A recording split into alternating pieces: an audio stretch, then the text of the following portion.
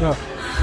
Been one of the greatest that marriage haters, and I've been fly so long they start to think that I'm levitating. You can't relate, I'm on another level. Hot as hell, the coldest devil. Call me a pervert, cause I'm filling up my schedule. Schedule one potent, long shot focus. and dodging gorgeous shorties, then I act like I don't know them. Like I'm let me poke them. Take them home and stroke them. Kitty cat, Jimmy hat, then I flip them over. Handsome chubby bastard, cooler than Alaska. Don't just like a rapper, but rapper jacket my swagger. Super guy, super